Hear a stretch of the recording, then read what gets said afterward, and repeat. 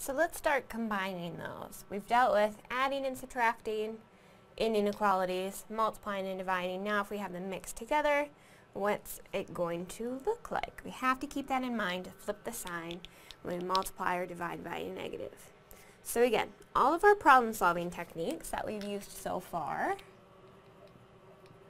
problem solving techniques can be used on inequalities.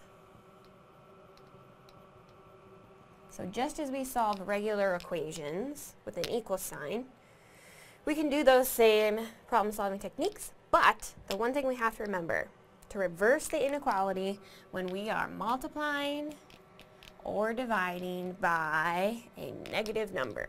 So we just have that one little piece of extra information. Have to flip the sign if we multiply or divide by a negative. So we're just going to practice a whole bunch of examples. In this case, trying to get x on its own, so I need to move what first? 6. So if I subtract 6 from both sides, it's going to be gone on the left. On the right, what are we going to have? Minus, just kidding, plus 1. And I need to have that a coefficient 1 on the front. So I'm going to divide by minus 5. But what do I have to remember? I'm dividing by negative, so I need to flip the inequality. And again, with a negative, I can assign it to the outside of the number, the top or the bottom. So in that case, I'm just going to throw it on the outside. So, getting used to that uh, solution set notation, this is all the x values such that x is less than minus one-fifth. Okay, not so bad. We just have to remember flip the sign, reverse the inequality, if we multiply or divide by negative. So that next example, again, combining some more. What's for you to try? Take it, see what you get. Solve for y, give it to me in simplified set notation. So what did you move first? I like to get my y's together. I'm going to move this constant 24 to the other side. So when I subtract from both sides, I don't have to flip any signs. It still holds true. So I'm looking at minus 7y less than or equal to 11y minus, what, 38? Okay, I need my y's together, so now we want to subtract 11y from both sides. So when we do that, what are we left with on the left? I've got minus 18 factors of y. It's less than or equal to minus 38. We need to divide both sides by minus 18 to get y on its own. So what do we have to do? Flip that sign, don't forget. So I'm looking at minus 38 over minus 18. So we want to simplify as far as we can go. And as we're looking at this, what is a negative divided by a negative, first of all? It's positive, so we can just drop that. And is there anything in common between those two that we can take out of both of them? They're both even, so a factor of 2. If we do that, what are we left with? We know it's going to be positive, and 38 divided by 2 gives us 19. 18 divided by 2 gives me 9. So again, the set builder notation, I'm just going to throw it onto that answer, because you won't be able to see it down there set of all y's such that y is greater than or equal to 19 over 9. We always want to have it in the most simplified form possible. So on the next page, you'll see the exact same inequality sentence written in two different spots. So we're going to solve these in two different ways. Talk about the differences between the two. So we're going to take that first one and just attack it like we've normally been doing. Get my y's together get my constants together and report it in that set notation. So, what do we want to do first? I'm trying to get the y's on its own, so I'm going to go ahead and subtract 17 from both sides. So minus 5y is greater than 8y minus 9 minus 17. So, over on the right, we're looking at minus 26 as our constant. Trying to get the y's together, so I'm going to subtract 8y from both sides. So what am I looking at over here? Minus 13y is greater than minus 26. So divide by minus 13. What has to happen? What do we have to remember? flip the sign since we're dividing by a negative.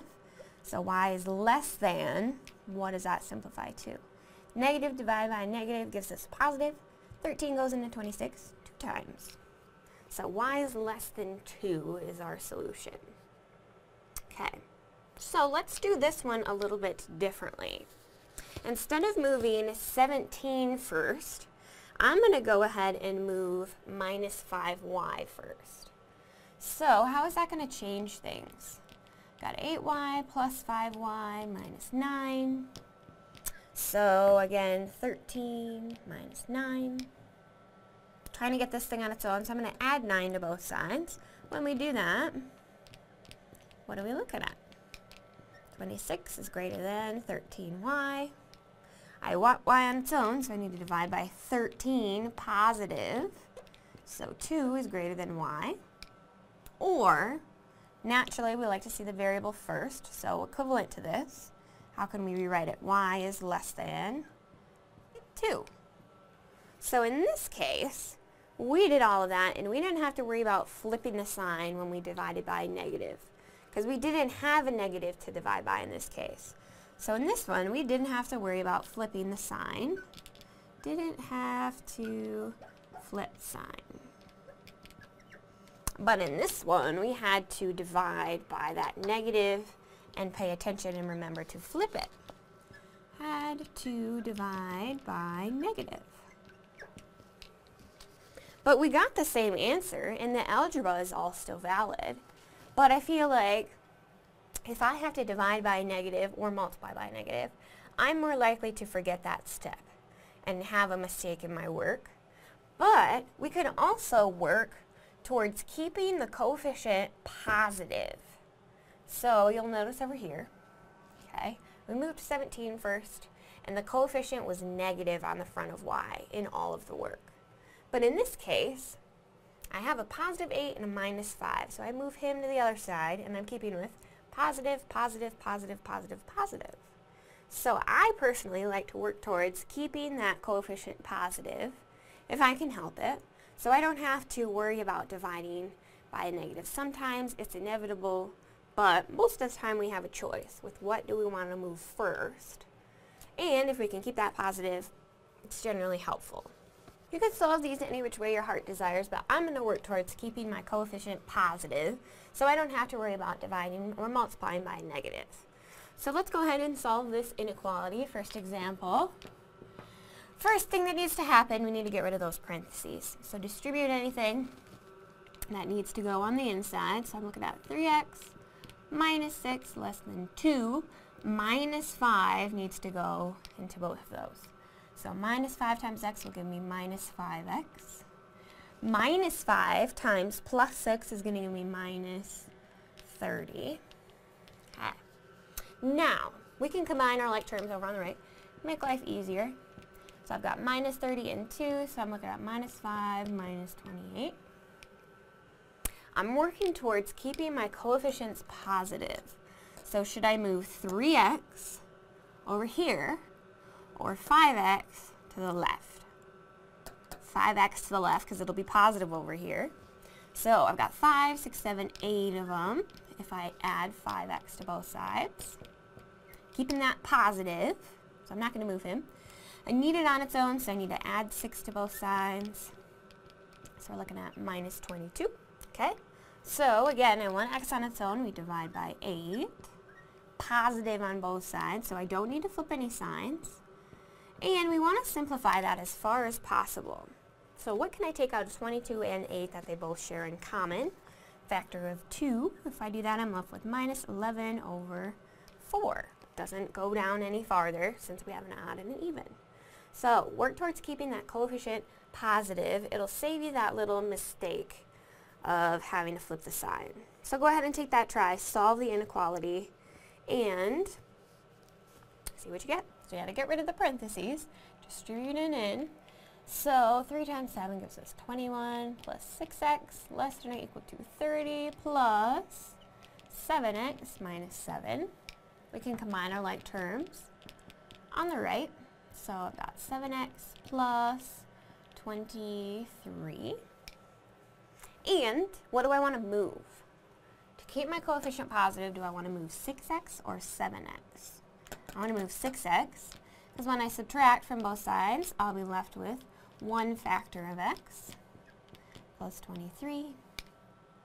So I need to subtract 23 from both sides to get x on its own. So we're looking at, what over here? Minus 2 less than or equal to x. But again, naturally we like to read it with the variable first. So equivalent to this is going to be what? X greater than or equal to minus 2. Throwing it in that set builder notation just to get comfortable with it. Okay. If you didn't work towards keeping that coefficient positive, you still get the same answer, but you have to worry about, do I need to flip that sign when I'm dividing by a negative? So how's the next example different than what we've seen before, the next two? I have decimals and I have fractions. So have we dealt with any cases where we have fractions and decimals in an equation or an inequality equation? How do I get rid of those? So we'll deal with this one first. How many decimal places do I have to move? How do I clear those uh, decimals? So in this case, I need to move all the decimals one to the right to be dealing with whole numbers. So we multiply again by the greatest number of decimal places.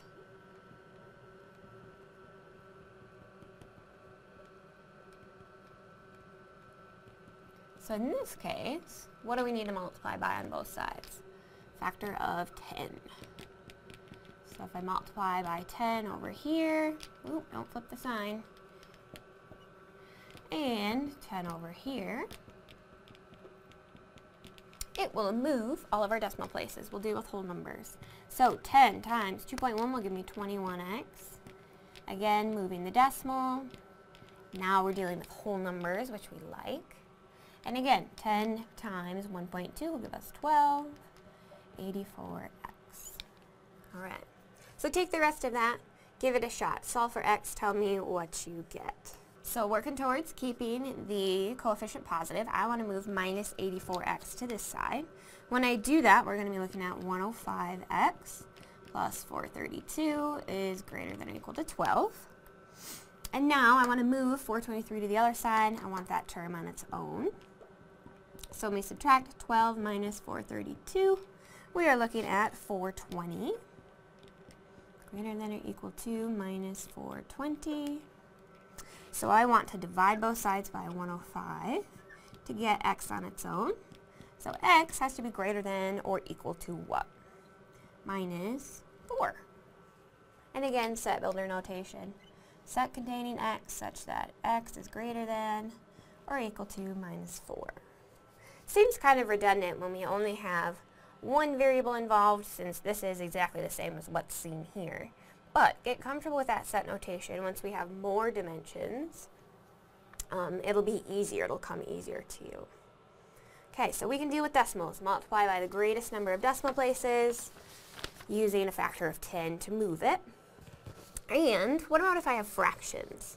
I want to multiply by what to clear those denominators? Multiply by LCD to get rid of all of them. So between 3, 6, and 2, the LCD is looking like what? 6. So if I multiply everything on the left by 6,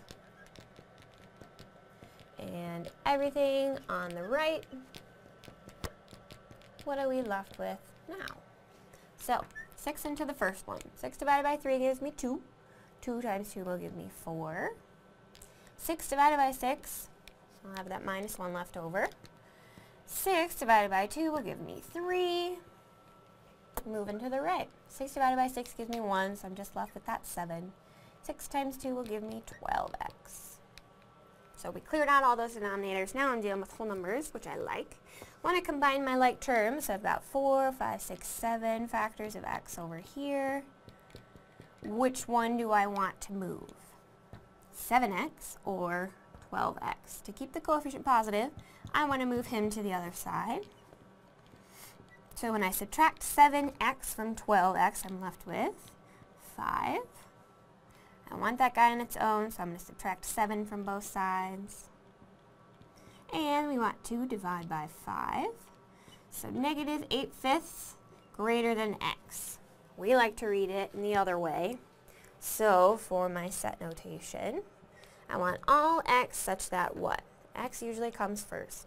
x is less than minus 8 fifths.